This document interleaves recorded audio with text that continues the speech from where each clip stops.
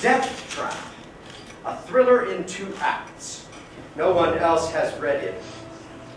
No one even knows he's working on it. Is it really that good, his first play? We can't miss. There's danger here. Much danger to you and to you.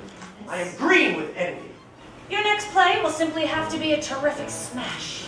Is that the mace for murderer's child? Yes. And the dagger is from the murder game. You must send away this man. Probably he's exactly what it seems. An honest, helpful young man completely trustworthy. Yes, probably.